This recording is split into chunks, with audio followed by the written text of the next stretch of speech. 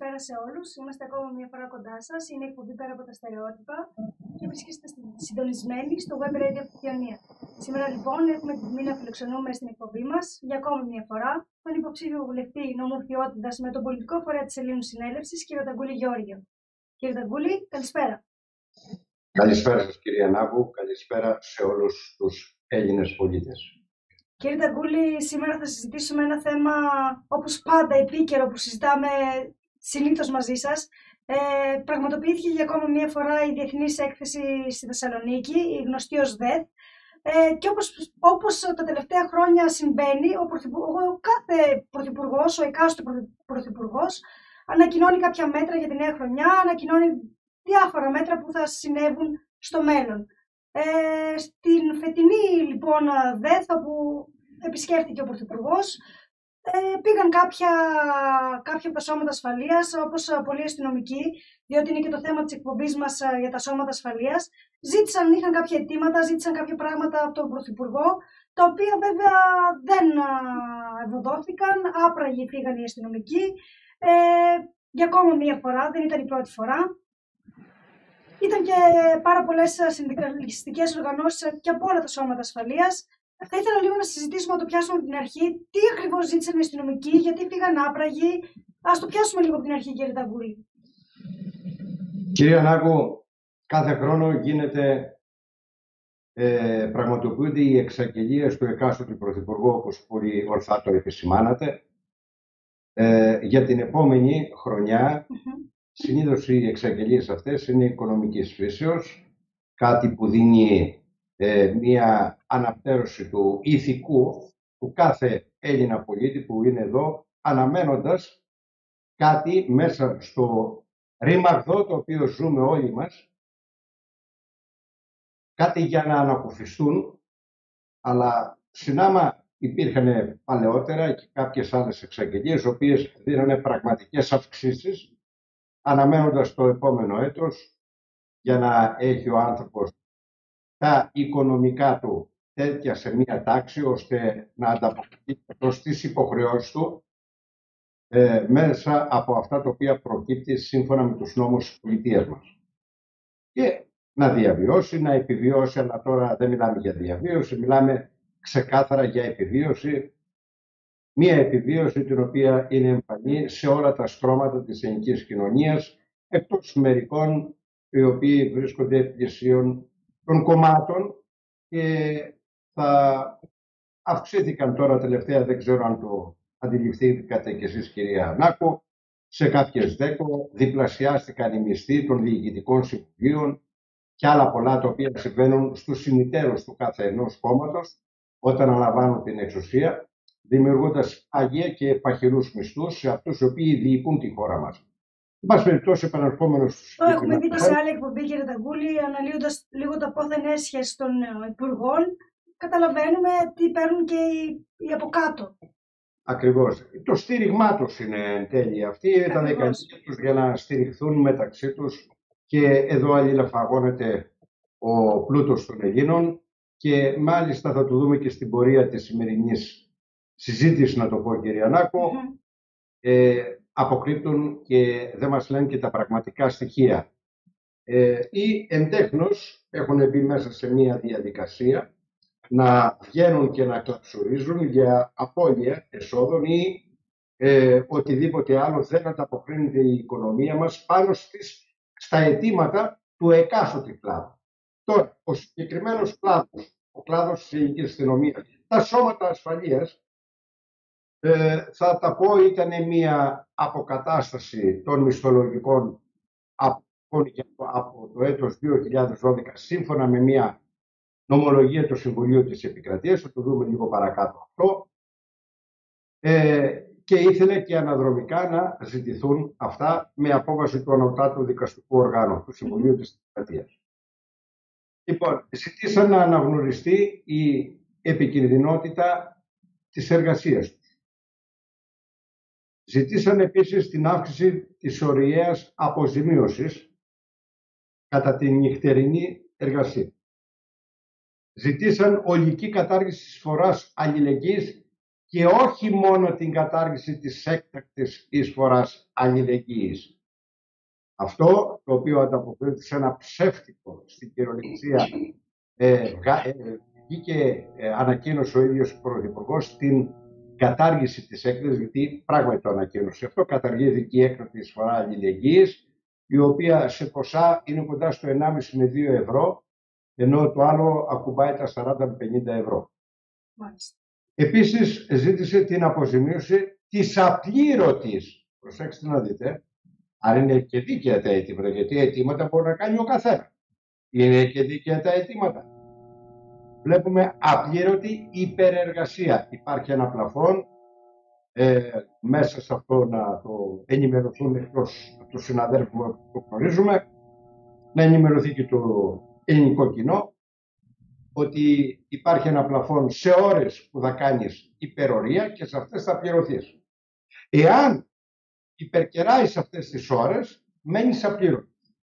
Δηλαδή, μία εργασία την οποία είναι αποδεικμένη, γιατί δεν μπορεί να βάλει στάνταρ σε, ε, σε κάποια μέτρα τα οποία θα αποσταλεί ένα αστυνομικό όργανο, αυτό πρέπει να γίνει αντιληπτό.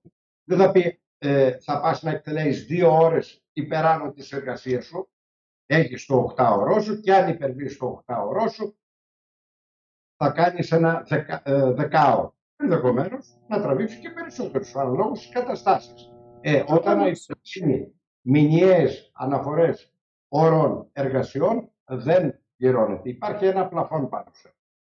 Και συνεχίζω, αυτά είναι σχεδόν τα αιτήματα και των συνδικαλιστικών πρωτοβάθμιων ενώσεων ε, της ελληνικής αστυνομίας και μάλιστα υπάρχει και ανακοίνωση που λέει ότι δεν ε, ετούμαστε πλέον, απαιτούμε.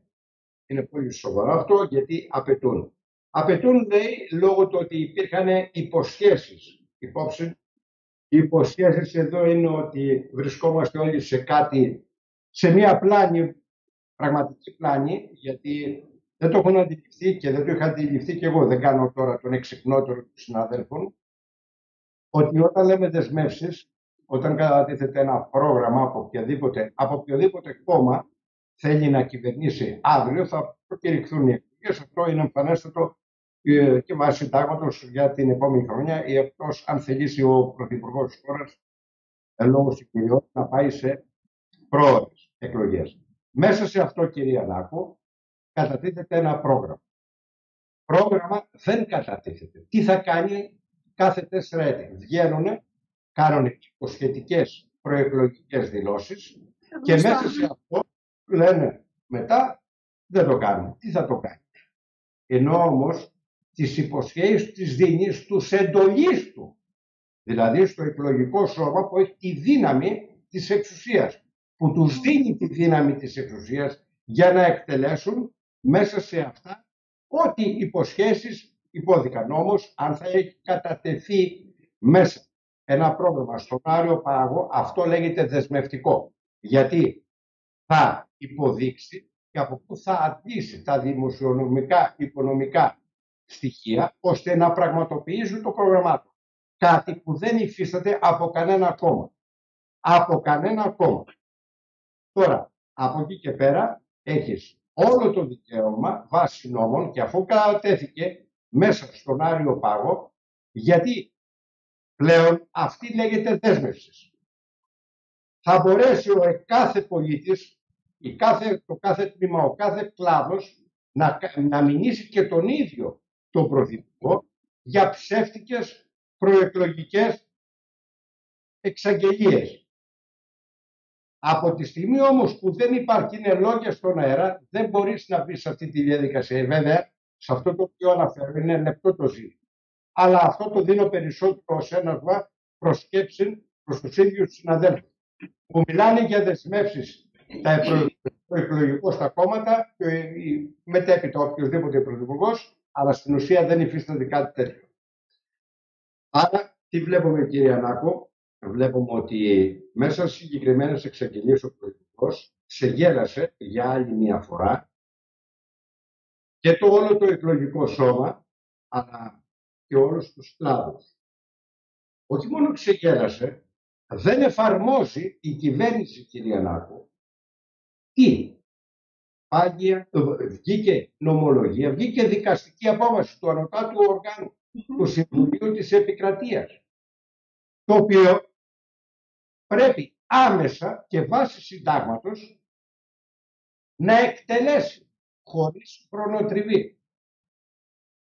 Εδώ προκύπτουν πολλά ερωτήματα. Όταν η Άρα καταστρατηγείται και το ίδιο το Σύνταγμα.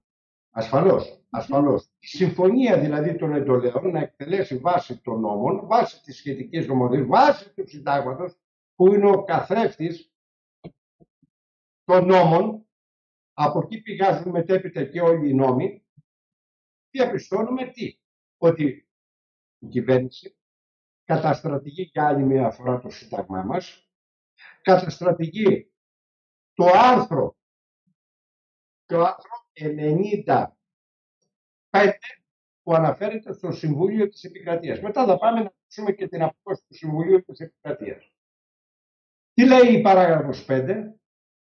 Αναφέρει ότι η διοίκηση έχει υποχρέωση να συμμορφώνεται προς τις δικαστικές αποφάσεις. Η παράβαση της υποχρέωσης αυτής γεννά ευθυνή για κάθε αρμόδιο όργανο, όπως ο νόμος ορίζει.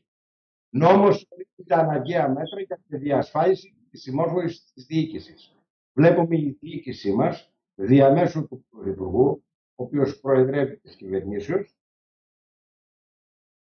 καταστρατηγεί για άλλη μια φορά το Σύνταγμα και ειδικά όταν πρόκειται για οικονομικά τα οποία έχουν όφελος γιατί η απόφαση του Συμβουλίου της Επικρατείας αναφέρει κυρία Νάκου για να το αντιληφθούν και συγκεκριμένα ότι βγήκε αντισυνταγματικό το νέο μισθολόγιο των σωμάτων ασφαλείας. Δηλαδή και η απόφαση αυτή είναι 852 του 2019 από το έκτο τμήμα μέσα σε όλα αυτά φτάσαμε να βγάλει μία απόφαση και το σπουδαίο ποιο είναι; Γιατί να κυνηγάει, να κυνηγάει και να κάνει προσφυγές επί των προσφυγών κάτι το οποίο είναι προς όφελος των πολιτών. Όταν όμως είναι εισπράξει το κράτος, επικαλείται την νομοθεσία. Σωστά. Πάτε. Δεν μπορείς εσύ να πας να πληρώσεις κάτι παραπάνω από αυτό το οποίο ορίζει η νομοθεσία.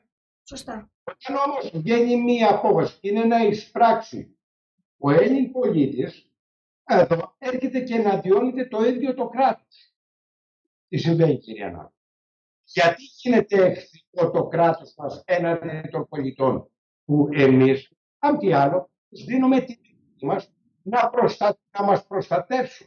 Όχι να είναι οι εχθροί μας. Και αυτό έχει παγιωθεί. Τρεις προσφυγές κάνανε σε αποφάσεις του Συμβουλίου της Επικρατείας. Για να... Και δεν συμμορφώνεται. Δεν συμμορφώνεται. Τότε πού πρέπει να πάμε; Πού πρέπει να πάμε εμείς για, να, για δικαστικές αποφάσεις των ανωτάτων οργάνων. Πού πρέπει να αποτανθούμε. Όταν η ίδια κυβέρνηση έχει χιλιοκουρελιάσει τους νόμους και το Σύνταγμα που η ίδια ψηφίζει, έτσι. Μα, ναι, ακριβώς, ακριβώς. Πολύ σωστά, πολύ ορθή η παρατήρησή σας. Οι ίδιοι το ψηφίζουν. Έλα μου όμως, όταν είναι προς όφελος, μου εναντιώνεσαι, κάτι δεν πάει καλά. Και όταν όμως έρχεται, πότε αποφάσεις για να αυξηθούν οι μισθοί τους, οι δικοί τους, υπάρχουν και με τόσα μπόνους, με τόσα επιδόματα, με τόσες διαδρομές σκοτεινές οι οποίες εισπράττουν χρήματα από το ελληνικό δημόσιο και τα έχουν δημιουργήσει και νόμους που παίρνουν επίσημα μίζες σε συστημάτων υπουργείων. Επίσης, οι μίζες έχουν νομιμοποιηθεί.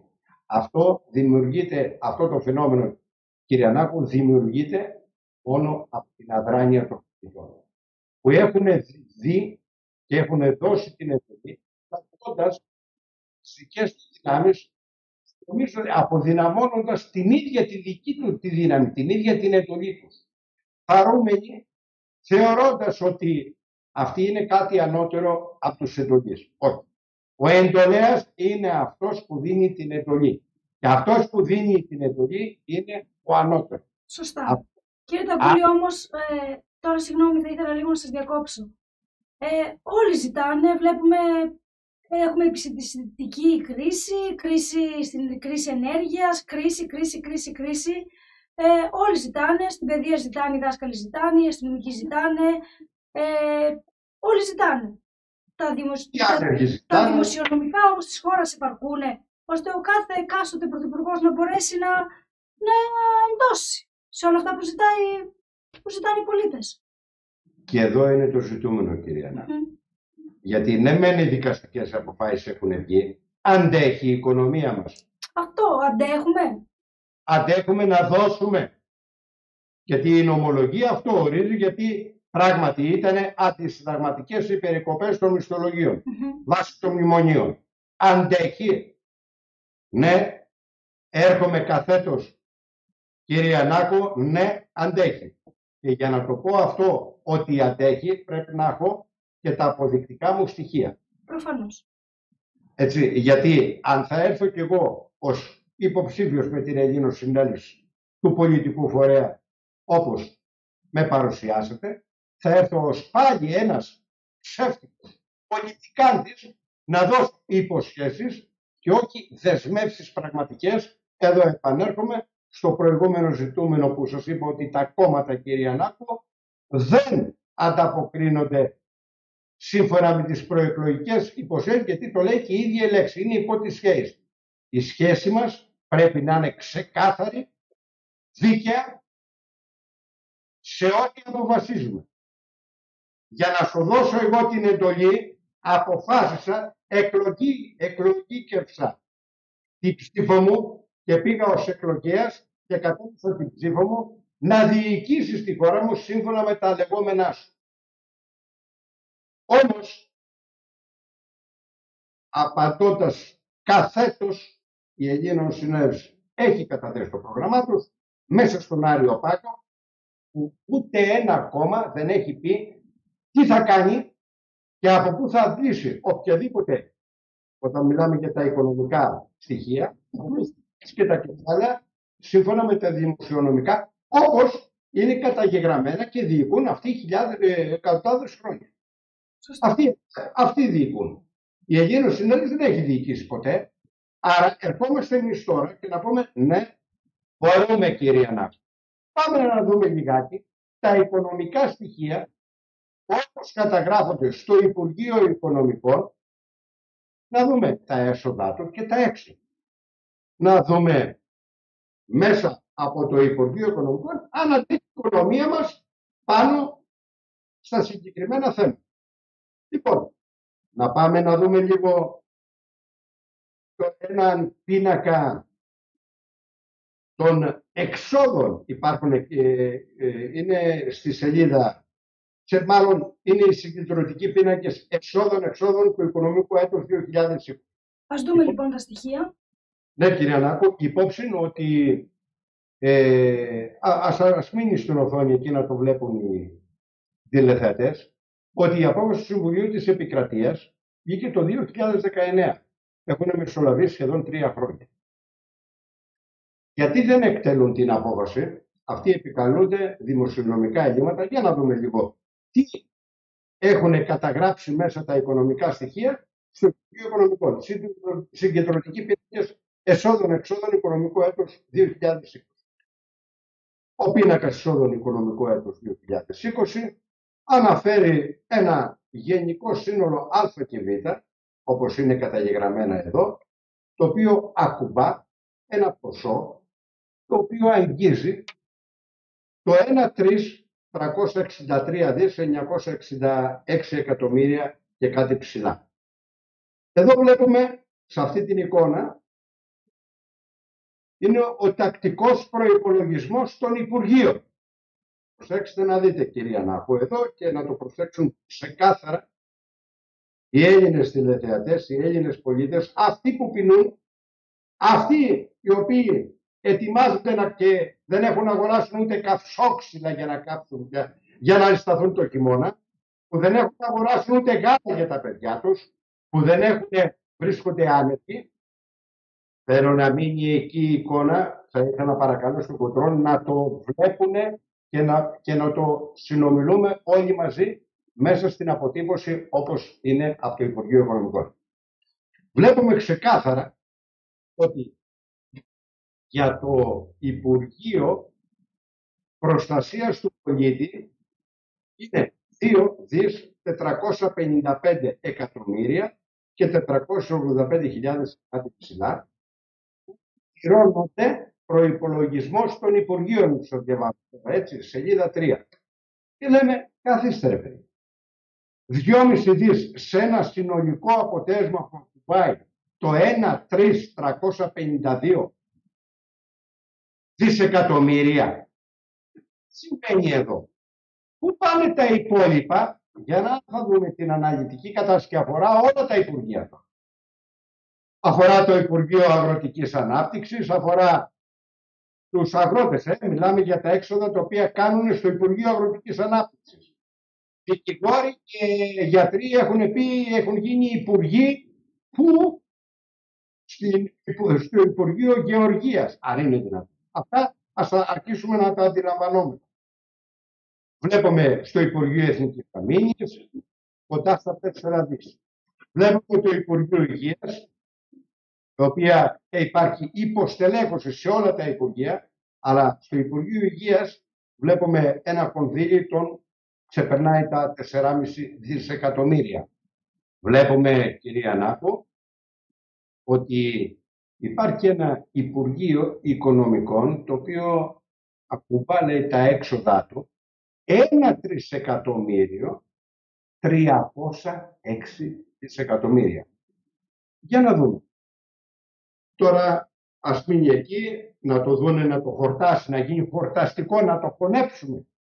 Το τι βλέπουν τα μάτια μας για να δούμε ανταποκρίνονται τα δημοσιονομικά στην πραγματικότητα. Ναι ή όχι. Εδώ είναι περίτρανη η απόδειξη την οποία εμφανίζεται στο Αλήθεια. Γιατί τόσα τα έξοδα στο Υπουργείο Οικονομικών; Τώρα σε επανέλθουμε εδώ, κάνουμε τη συζήτηση με την κυρία Νάκου για να δούμε και να μας αντιληφθούν και όλοι οι Έλληνες πολίτες. Πού πάνε αυτά τα έξοδα; Δηλαδή, πόσοι υπαλλήλου έχει το Υπουργείο Οικονομικών, ώστε να έχει έξοδα ένα 306 δισεκατομμύρια. Και εδώ γεννάται ένα άλλο ερώτημα, κυρία Γιατί, εάν με όλα αυτά τα έσοδα, πώς έρχεται και μας εμφανίζουν ένα καθάριστο εθνικό προϊόν με 200 περίπου τα 100, πώς αρχίζουν ενώ έχουν ξεπουλήσει τη μισή τη χώρα, σχεδόν ολόκληρη. Λιμάνια, ε, δέκο, τα πάντα τα έχουν ιδιωτικοποιήσει και τα έχουν πάρει ξένα συμφέροντα. Πώς είναι δυνατόν αυτοί, αυτά τα να μην γίνουν να ξεχρεώσουν; Τι τα κάνει όλα αυτά το Υπουργείο Οικονομικών. Και εδώ επισημάνω και προς όλους τους έχουν ζητήσει ήμουν νιός και εγώ και κέρασα, για το επίδομα επικινδυνότητας της εργασίας. Το ξέρουν τώρα, λέω στους συνάδελφοι μου, ότι επίδομα επικινδυνότητας εργασίας έχουν πάρει οι υπάλληλοι της ΑΔΕ. Για ποιο λόγο, εδώ έρχονται τα γέλια. Εδώ δεν είναι μόνο για γέλια, είναι και για κλάματα. Βλέπουμε ότι αμείβουν σε υψηλά κλιμάκια οικονομικά τους υπαλλήλους της ΑΔΕ και υπάρχει μία βόλεψη για τους υπαλλήλους και δεν μιλάνε τι κανένας οικονομολόγος. Δεν έπεσε στην αντίληψή του αυτό το οποίο είναι μέσα από την επίσημη ιστοσελίδα του Υπουργείου Οικονομικών. Μελάει ξεκάθαρα. Και μάλιστα για να δούμε μέσα σε αυτόν ε, τη σύντηξη και το πίνακα όπως παρουσιάστηκε υπάρχει και η ανάλυση εσόδων. Πάλι μέσα από το Υπουργείο Οικονομικών. Αυτό. Πάνω σε αυτοί οι πίνακες που βγάζουμε, που εμφανίζονται στις οθόνες σας, δεν είναι... Είναι μέσα από το Υπουργείο όλα αυτά. Ορίστε. Εδώ είναι με τους κωδικούς, με τους κωδικούς που έρχονται τα έσοδα. Από που προέρχονται είναι οι φόροι, ε, τα αναγράφει αναλυτικά. Υπάρχει, υπάρχει και γι' αυτό επιμένω με τον κωδικό R54. Αναφέρεται ως δάνειο 600 δισεκατομμύρια. Εδώ δεν θα αναλύσω και τα 600 δις, κυρία Νάκο. Αυτό είναι γνωστό σε όλους τους Έλληνες. Για να δούμε τώρα ποιος λέει ψέματα και ποιος λέει αλήθεια. Γι' αυτό, γι' αυτό, κυρία Νάκο, εάν θα πάμε να δούμε και στη σελίδα 29, αν το θυμάμαι καλά, να δούμε στην ανάλυση του κωδικού R54, αναφέρει ότι είναι εσωτερικά βράχη πρόθεσμα, δηλαδή εντός του εσωτερικού, εντός της χώρας μας, δάνεια, κάποιος λέει ή κάποιοι, δανείσαν τη χώρα μας 600 δισεκατομμύρια και εμφανίζονται και στο ΦΕΚ του προϋπολογισμού. Άρα, εδώ υπάρχει η πλήρη αποτύπωση της αλήθειας και φρόνιμο είναι, ας μείνει ένα, δύο, τρία δευτερόλεπτα, να δούμε να το χωνέψουμε ξανά όλοι μας. Αυτό είναι σημαντικό έγγραφο.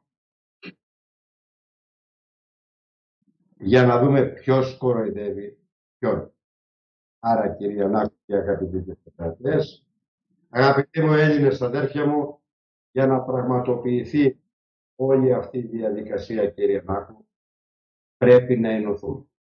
Πρέπει να δώσουμε πραγματικά την εντολή σε άτομα τα οποία φωνούν για την πατρίδα, άτομα που μπήκαν στη διαδικασία να ερευνήσουν. Τι συμβαίνει σε αυτή τη χώρα, δεν μπορεί μόλις πάει να πάρει μία ανάπτυξη να πραγματοποιούνται από, άμα της ίδρυος, ιδρύσεως όπως αναφέρεται του νέου κράτου, κυρία Νάτου, να έχουμε πέντε πτωχεύσεις και πήγαν να φροντίσουν να μας κάνουν και την έκτη. Όταν είπαν πτωχεύει η χώρα και εμφανίστηκε αυτός που εμφανίστηκε την ώρα που έπρεπε και λέει κύριε σας καταθέτω και σας προκαλώ πτωχεύστε μου τώρα τη χώρα. Αυτό πρέπει να γίνει σε όλο μας, στη συνείδησή μας να το καταλάβουμε, να το ψάξουμε, να ανοίξουμε λίγο και το πνεύμα μας, λίγο την νόησή μας, Έλληνες είμαστε. Να το ανοίξουμε και να αναρωτηθούμε. Ο μισθή, η μισθή η οποία παίρνω και εγώ συνταξιούχος και όλη η έστολη, αντιλαμβάνεσαι, όταν θα είχε πτωκεύσει η χώρα, θα ήταν σε επίπεδα Αργεντινής και θα βγαίναμε όλοι με τα τηγάνια και με τα κατσαρόλια για να πάρουμε τι, ένα πιάτο φαγητό. Ας αντιληφθούμε πλέον τις νόμιμες και δικαστικές αποφάσεις που έχουν βγει και ας έρθουμε όλοι στα συγκαλά μας. Και έτσι κύριε Νάκο, με αυτό, για να μην κουράσω και άλλο τους τηλεθεατές, νομίζω ότι έδωσα την πλήρη απάντηση πώς, πώς μπορούμε να πάμε σε πραγματική ανάπτυξη και όχι διαχείριση χρέους. Είναι πολλά τα οποία μας αποκρύπταν. Όλοι αυτοί που μας κυβερνούσαν, αυτό είπαμε για να συμβεί, πρέπει να ενωθούμε. Αλλιώς δεν θα γίνει. Πρέπει να ενωθούμε αφού ανοίξουμε τα μάτια μας κύριε Ταγκούλη και δούμε όλα αυτά τα στοιχεία που παρουσιάζουμε και εδώ στις εκπομπές μας και όχι μόνο εμείς ο δικός μας σταθμός, αλλά και γενικότερα υπάρχουν πάρα πολλοί ιντερνετικοί σταθμοί, το έχουμε ξαναπεί, που παρουσιάζουν πάρα πολλά στοιχεία που πρέπει να δει όλος ο ελληνικός λαός. Ήρθε η ώρα. Πρέπει να τα δούμε, να ανοίξουμε τα μάτια μας και να ενωθούμε. Έτσι ακριβώς, κύριε Ανάκου. Άρα πρέπει να σηκώσουμε το κεφάλι μας. Ακριβώς. Πρέπει να το σηκώσουμε το κεφάλι. Να μην περνάμε σκυφτοί. Εγκλωβισμένοι μέσα μόνος στις υποχρεώσεις έναντι του κράτους μας. Γιατί η συμφωνία είναι δούνε και λαβή. Μέσα στις υποχρεώσεις του καθήκοντα έχει και το ίδιο το κράτος. Να προστατεύει, να ασφαλίζει το όλον. Και αυτό πρέπει να το πραγματοποιήσουμε εμείς. Άρα Ψηλά το κεφάλι οι Έλληνες. Τα αποδεικτικά στοιχεία μιλούν. Σκοπός μας είναι η ένωσή μας και ένα βήμα το οποίο οφείλεις να το κάνεις και να διηγήσεις και εσύ τη χώρα σου. Και εσύ όλοι μαζί τη χώρα. Ακριβώς. Ευχαριστούμε πάρα πολύ για ακόμα μια φορά που ήσταν κοντά μας. Ευχαριστούμε βέβαια και όλους εσάς που παρακολουθήσετε για ακόμα μια φορά την εκπομπή μας. Ήταν η εκπομπή πέρα από τα στερεότυπα. Καλή δύναμη σε όλους. Να είστε όλοι καλά μέχρι την επόμενη μας εκπομπή. Καλό βράδυ.